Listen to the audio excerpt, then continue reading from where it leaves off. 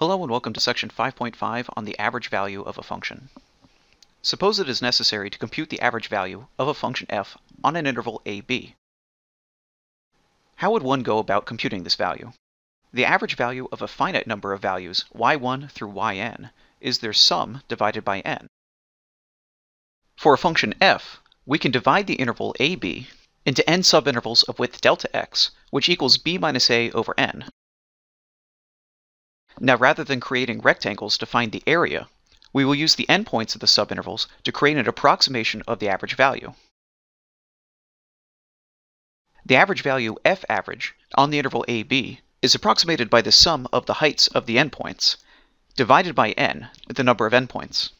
Manipulating the equation delta x equals b minus a over n, we obtain n equals b minus a over delta x.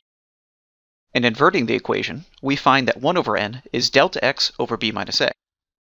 Replacing 1 over n with delta x over b minus a, we have a new way of approximating f average.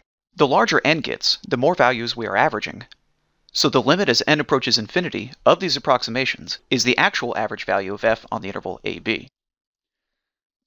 That is, the average value f average on the interval ab is the integral from a to b of f divided by b minus a. To remember this formula, the value f average represents the average height of the curve, while b minus a is the width of the interval. The integral represents the area. So just like in a rectangle, the height is equal to the area divided by the width.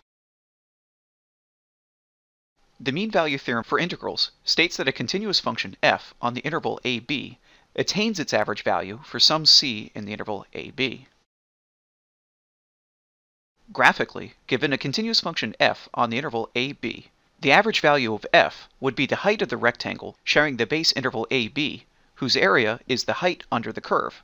Imagine the curve as a pile of sand, which when leveled is the red rectangle.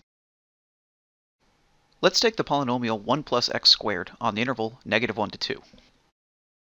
The average value of f is found by integrating from negative 1 to 2, and then dividing by 3 the length of the interval using the fundamental theorem of calculus part 2, the average value of f on the interval negative 1 to 2 is 2. Now as f is continuous, the mean value theorem for integrals guarantees a value c in the interval for which f of c is equal to the average value.